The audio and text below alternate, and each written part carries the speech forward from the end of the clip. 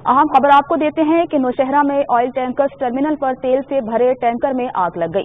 Terminal पर तेल से भरे डेढ़ सौ से ज़्यादा टैंकर्स मौजूद हैं। अहम खबर आपको दे रहे हैं, नौशहरा से खबर शामिल कर रहे हैं, जहाँ पर ऑयल टैंकर्स टर्मिनल पर तेल से भरे टैंकर में आग लग गई। मजीद तफ्सलात लेते हैं बादशाह खान से। बादशाह, बताइएगा कि आग किस तरह से लगी और क्या आग पर काबू पा लिया गया है? जी, बिल्कुल ये तारूजवा के मुकाम पर ऑयल टैंकरों के टर्मिनल में मौजूद एक ऑयल टैंकर पर अचानक आग उठी जिससे शोले उठने लगे। आग मजीद फैल गई और साथ ही खड़े बेघर गाड़ियों को भी आग ने लपेट में ले लिया।